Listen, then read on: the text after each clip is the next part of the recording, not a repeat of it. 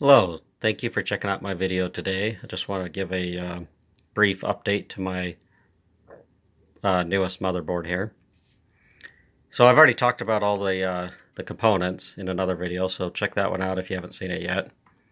What I want to hit on today is I've added a 20 megahertz processor. Uh, it's partially why I changed my layout. I ended up adding these capacitors to each circuit um, which was highly recommended by quite a few people on YouTube. And uh, by adding those, the board will actually run with this uh, faster processor. My other board, it runs the 8 megahertz processor with no issues, but it would not run this processor at all. So I'll just give you a quick demo. As you can see, uh, if you can read that, it says uh, 7020, and then it's uh, HLP-20 two zeros for 20 megahertz.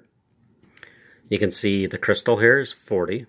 Now, when I put the writing on the board, I just listed that as crystal V40 because I intended to be able to put whatever crystal in there match the processor.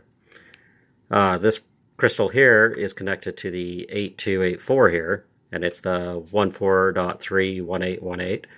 And that is used for the speaker and the system timer. I've already talked about that in another video. Basically, if this is a great example where this is running at 20 megahertz, it does, it, you can use the internal uh, crystal for your speaker, but it'd be very high pitched. So that's why I included this on my board. But anyway, let me give you a quick demo. Make sure we get some good focus here. You saw how quickly that booted up. Uh, that AA, AA is just uh, from the keyboard controller, just initializing it but I'll just push it. We're just getting scan codes. I'm still, I still haven't gotten in it, changed my uh, keyboard handler yet. But anyway, you can see it hasn't crashed. It's running. It's running just fine, and you see how quickly it booted up. I'll reset it again so we can just watch that.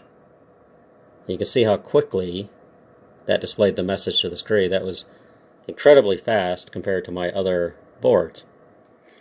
The only issue I've had so far is the uh, USB drive uh, because this is running two and a half times faster than the uh, 8 megahertz uh, processor.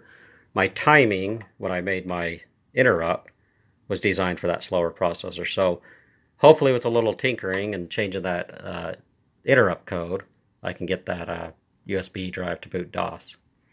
So anyway, thanks for checking out this update.